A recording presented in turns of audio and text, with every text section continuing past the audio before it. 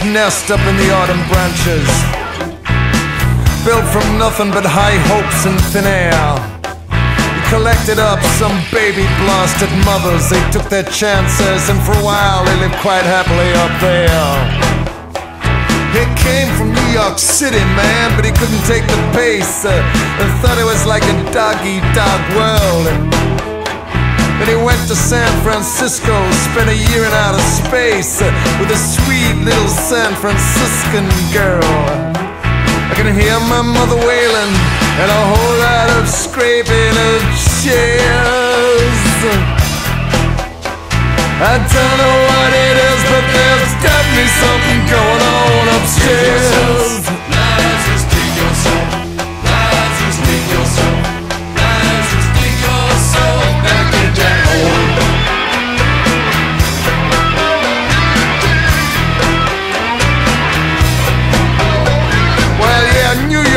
City, he had to get out of there. And San Francisco, well, I don't know. And then to LA, where he spent about a day. He thought even the pale sky stars were smart enough to keep well away from LA. Meanwhile, Larry made up names for the ladies, like Miss Boo and Miss Quick.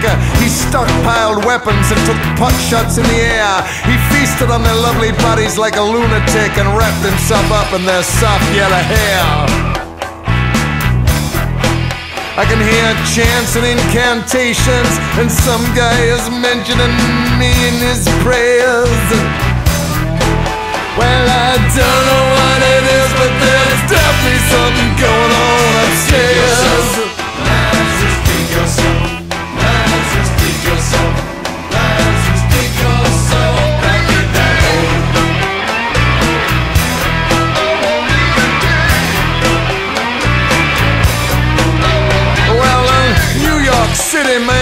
San Francisco, LA, I don't know. But Larry grew increasingly neurotic and obscene. I mean, he, he never asked to be raised up from the tomb. I mean, no one ever actually asked him to forsake his dreams. Anyway, to cut a long story short, fame finally found him. Mirrors became his torturers. Cameras snapped him at every chance.